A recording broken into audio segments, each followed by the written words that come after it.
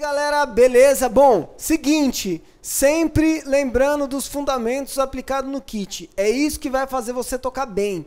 É isso que vai fazer você ter agilidade, você ter flexibilidade, força. É treinando os rudimentos, os fundamentos e aplicar depois no seu kit, beleza? Então, ó, toque duplo, a gente já viu isso aí. Du é, é, bom, a gente já viu na mão, né? Então, duas na direita, duas na esquerda. Agora a gente vai fazer duas na, na, na mão direita Pode ser na esquerda também, né? Você vai ver depois aí. Mas principalmente duas na direita e duas no pé direito. Isso para você começar a ter o equilíbrio com, a, com o mesmo grupo de nota e com as mesmas notas na mão quanto no pé. Então, duas na mão, duas no pé. Bem simples, dá uma olhada.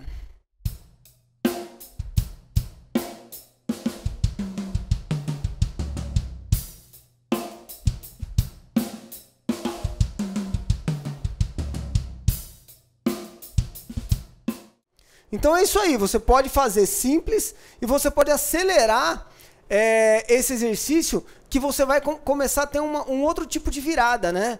É, é bem legal, cara, esse, esse lance de, de mão e pé rápido, tambores e boom e tal. Você pode até colocar depois no chimbal e tal, que, que começa a melhorar o seu groove também. Mas a princípio você pode jogar pra virada, fica bem legal. Beleza? Então, valeu, galera. Grande abraço, vamos estudar isso aí. Valeu, tchau.